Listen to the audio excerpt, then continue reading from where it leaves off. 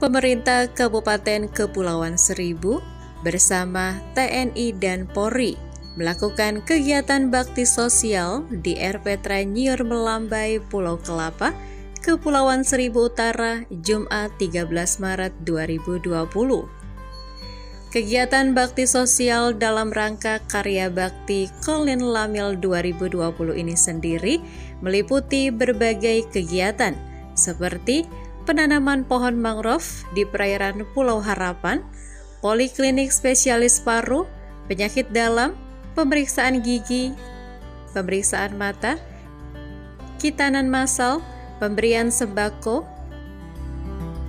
peresmian posyandu Mawar RW 01 Pulau Kelapa, serta pembagian masker dan antiseptik kepada Bupati Kepulauan Seribu Husen Murad oleh Inti.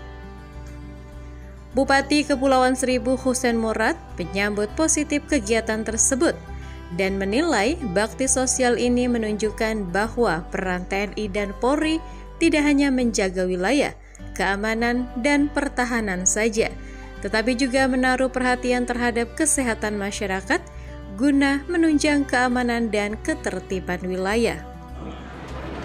Izinkan pada kesempatan ini atas nama seluruh warga saya menyampaikan ucapan terima kasih dan penghargaan yang setinggi-tingginya atas terlaksananya bakti sosial terpadu TNI Polri pada hari ini.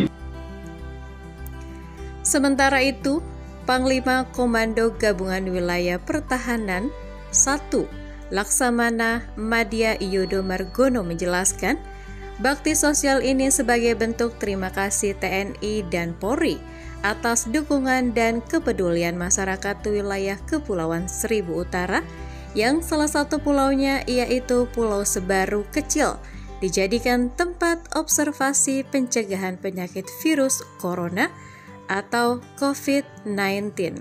Kita dari saudara-saudara kita yang kemarin dari uh, eh, ABK, Bodrin dan uh, eh, Diamond Prince yang berjumlah 188 ditambah eh, uh, 68. Ya insya Allah besok kita akan kembalikan pada uh, kembali pada masyarakat, pada keluarganya dan juga hari Minggu nanti yang 68 juga akan kembali.